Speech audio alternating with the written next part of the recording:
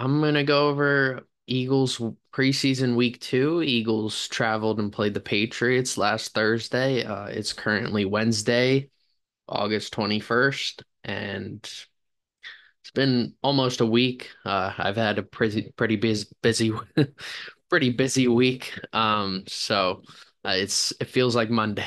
So uh, I'm just gonna get right on into it. Um, first I'm gonna go quarter quarter quarter by quarter. My words are tied right now. Um, I'm gonna go quarter by quarter, going over scores, some big events, turnovers, stuff like that. Um, for the game last Thursday. So Eagles um opened up with an interception by Avonte Maddox on Patriots quarterback Jacoby Brissett. Avonte Maddox returned it to uh the 45 yard line, 47 yard return. It's a great, great play by Avonte Maddox. Great job getting a lot of yards after that. Uh, then Jake Elliott, Eagles kicker, kicked the 42 yard field goal. Second quarter, Joey Slye, the Patriots kicker, kicked a 51 yard field goal. Eagles turned the ball over on downs at their own 49 yard line, and Patriots quarterback Drake Maye ran in a four yard touchdown as time was expiring. Um, third quarter, Eagles turned the ball over again on downs, this time at the Patriots 37 yard line, and the Eagles turned the ball over again on downs at the Patriots 32 yard line. So, fourth quarter comes in, Jake Elliott kicks a 38 yard field goal. Joey Slye kicks a 45 yard field goal. Eagles running back Kendall Milton, Kendall Milton ran in a one yard touchdown. The two point conversion was successful with a pass from Tanner McKee to Ainias Smith. Uh, a snap went over the head of Patriots quarterback Bailey Zappe on what could have been a game winning drive for the Patriots. There were some sort of effort there, but uh, snap went over Bailey Zappe's head, and linebacker Brandon Smith recovered the ball. Eagles went on the win 14 to 13.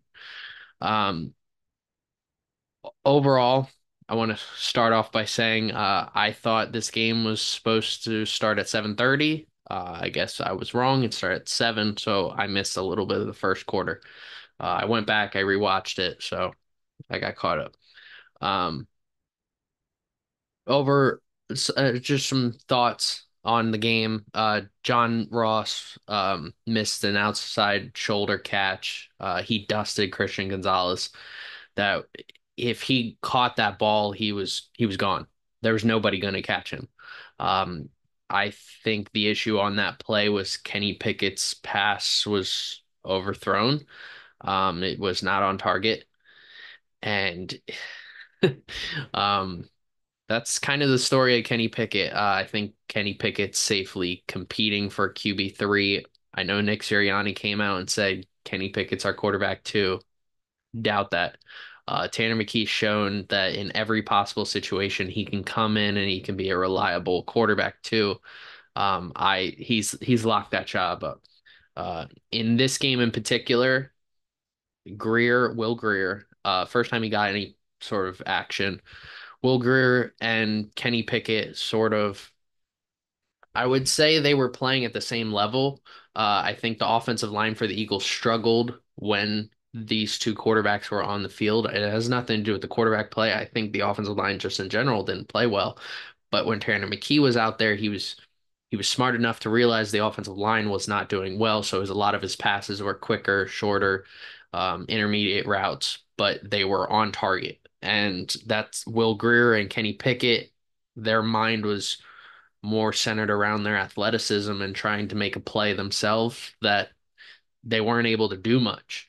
So um, that's not really what we want out of a backup quarterback. We want someone someone like Tanner McKee. Um, I I think everybody can agree with that. I think every NFL team would love a quarterback like Tanner McKee coming off the bench. I'm sure I've heard so many people say, "Look how great Tanner McKee's doing." Um, I won't I won't be shocked if regardless if Hurts uh were to get hurt and McKee were to step in or not, if Hurts Hurts could play the entire year and McKee could never see a snap, I still think McKee is going to get a job somewhere else to potentially start. Um, he just he looks that good and he looked that good last year. He looks that good this year. Uh no drop off. In fact he looks more efficient this year and he's throwing in tighter windows this year.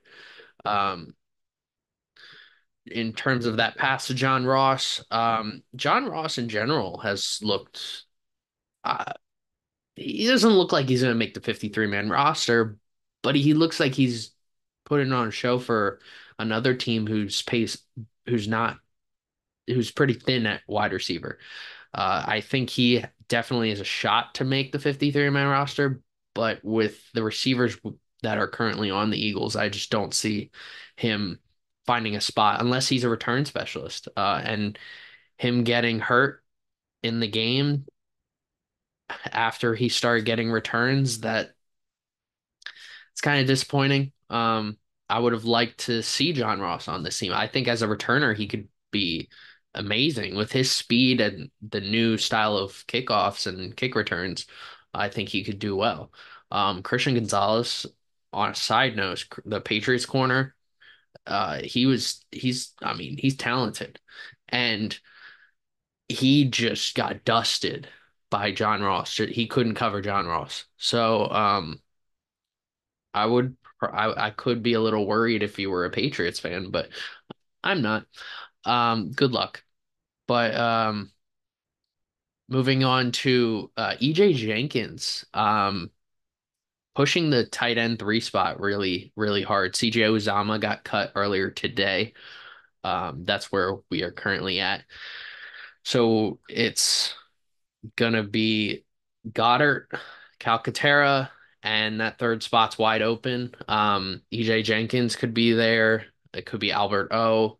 Um, the it's it's really those two, and I think EJ Jenkins has proved that he can be a nice, solid target if players end up getting hurt. Uh, I like I liked him. He was making some great plays.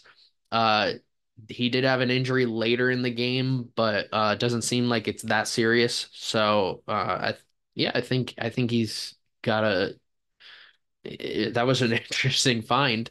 Uh, I think Grier and him looked really good together. But uh Mekhi Becton seems to have locked up right guards one. Um, Tyler Steen left uh got hurt. He had an ankle injury, was out for the game. And I Becton's not even getting any time in the preseason. I think we all can agree Mekhi Becton is the starting right guard. So the Eagles offensive line heading into week one should be left tackle Jordan Mailata, left guard Landon Dickerson, center Cam Jurgens, right guard Mekhi Becton, right tackle Lane Johnson. Um, which I I knew when we signed Mekhi Becton, I knew when the Eagles signed Mekhi Becton that he that Stout Jeff Stoutland could could help unlock something there with Becton because I mean he had injuries um when he was on the field he just didn't seem right and they had him lined up at tackle. And I think for someone as big as him and less agile, I think he would be a better fit at guard. And I think he's doing quite well at right guard um, that I've seen so far. Who knows? We'll see what week one holds with Mekhi Becton.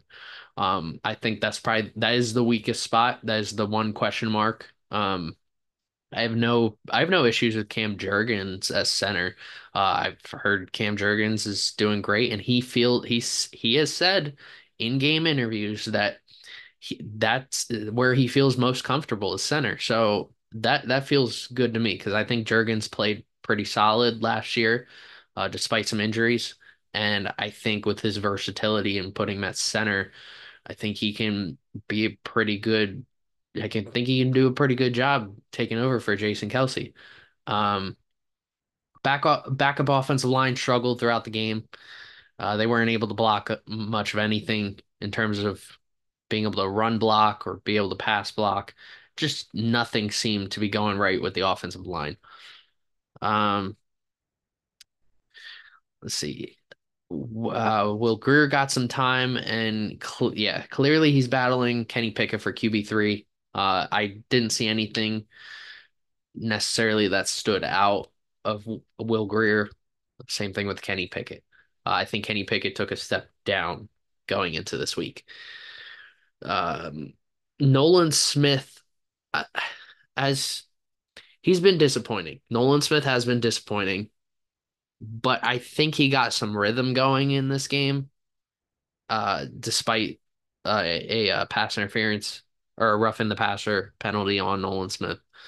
Um, I did think he got some rhythm going into this this game. So, and who knows what he's gonna be like playing with Jalen Carter and Jordan Davis and the rest of the defensive line because it's possible that because everybody's so focused on all of them that he ends up standing out.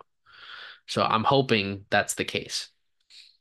Will Shipley continues to impress. He he's locked RB two. Call it now. Um, Gain- Gainwell's getting very few. T- I I don't want to say I wouldn't be shocked. I wouldn't be shocked if Kenneth Gainwell got cut. Um, I don't think. I think they're trying to find a spot they can put him, and that's RB three. Uh, Will Shipley just looks very good. He looks like he could complement Saquon very well. Um, I can't wait to see him in this offense because I think him in this specific offense could do very well. Uh, starters, uh, we haven't seen offensive starters play. Uh, I'm, I know some people are worried uh, they're looking where's where's Jalen Hurts? Is Jalen Hurts going to play? Uh, is Saquon going to play? AJ Brown, DeVonta Smith, Dallas Goedert, most of the offensive, well, four fifths of the offensive line. Uh, are they gonna? Are we going to see them in the preseason? And you know, I I I think I just want to see him maybe for a quarter. Um, I know a lot of people are um a lot of people just want to see them play because they get rusty to start the year. And I, yeah, I think some teams that's the case, and other teams that's not the case. Um, I think a lot. Of, uh, I think the Eagles as a whole, a lot of their players have played with one another. The only guys who haven't played are Saquon and um, Mekhi Becton. So, but otherwise, everybody else has played with one another, and I know it's a new scheme. That's the major reason why you would start them for next week. And I, am okay holding off until next week. I know a lot of people said they should have played their starters. Um, and uh, you know what? That's fine. I I am okay with not playing starters at all in the preseason. Um, uh, unless you're a brand new team and you got brand new players everywhere. So, but some teams they already know each other mostly that you don't need to do that. The Chiefs don't need to do that. The Niners don't need to do that. Uh, the Eagles don't need to do that. The Lions don't need to do that. There's a lot of teams out there that they don't necessarily need to do that, but teams who are almost new entirely in terms of how they're built um, maybe a new quarterback coming in, new offensive coordinator. The Steelers are another uh, one of those examples. Uh, new offensive coordinator. They have a new new quarterbacks. Uh, we who knows what they're going to look like. They have added players at receiver at receiver next to George Pickens. So who knows what that's going to look like there. Those teams should play their starters. So yeah, I, I'm I'm okay if they don't play their starters. I don't want them to get hurt. But at the end of the day, it's these players could still get hurt week one. So it doesn't it doesn't matter whether you start them next week or not. Um it's I mean, you're getting rhythm. That's I think what everybody wants to see heading into week one. Uh, Jeremiah Trotter Jr. continues to shine. This dude's this dude's so fun to watch. Uh, I I want to see him as linebacker as one of the starting linebackers, but he's probably not going to. He's probably going to be a special teamer because he's and he's doing a great job on special teams. Uh, Devin White and Nakobe Dean, I think, are going to be the starters. Zack Baun, I, I, I, I don't like. I, I, I just, I don't like Zack Baun. I, I just, I don't see what the deal is. I know a lot of people want to see him at edge rusher. He's not going to play edge rusher in the Eagles defense. Uh, he's going to be a linebacker, and I don't like that. I think there are better linebackers that are backing him up. So whatever it is, what it is, I guess. Um, yeah, uh, John Ross did get hurt. He got a concussion in the game. Again, like I said, uh, I think he's doing a great job in terms of showing other teams uh, how good he could be. Uh, but I don't I don't think he's gonna make this roster, but I I definitely look forward to seeing what he can do on another team and even at returner. I hope I hope he does make the team as a returner. Uh, Tanner McKee came in midway through the fourth quarter, which was a little weird. Um, Will Grier came, so Kenny Pickett came in, struggled. Will Grier came in and struggled. And then suddenly Tanner McKee is out there in the fourth quarter and led us to a game a, a game winning drive. Uh, Tanner McKee single handedly helped the Eagles win that game. So, uh, yeah, uh, if you question whether Tanner McKee can be clutch, whether Tana McKee can make certain passes accurately, deep passes, if you question any of that over the last two years, he's proved all of that, that he can do anything. Um, I am really excited to see where what his future holds, whether that's in Philadelphia or not. Uh, but yeah, it was it was weird seeing him come in, especially that he started the game and then suddenly he comes back into the game. So I don't I don't I don't know. I don't get that all that much. Um Yeah, I th I think that's I think I think that's it in terms of my review. Uh, oh, Max Scharping um looked terrible on the offensive line. I don't expect him. To, he shouldn't make the roster. Um, but who am I to? I'm not the one making the decisions. Um, I don't know. Maybe someone knows something about him that he's skilled, but he didn't look very good. I don't.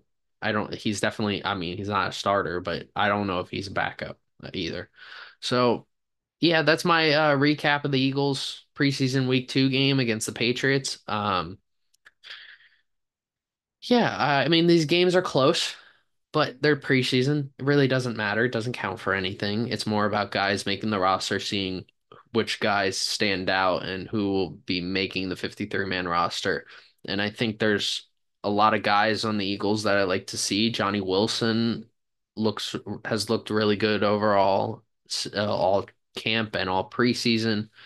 Um, uh, then there's other guys like Ainias Smith or who look very disappointing compared to what we thought we were getting when we drafted him. So uh, I I hope some of these players can get better, and I hope some of these players um take it to the next level. So uh, only a couple more weeks until week one. So let's um let's hope everybody stays healthy. That's that's just what I'm looking forward to. So all right, I'll see you all next week.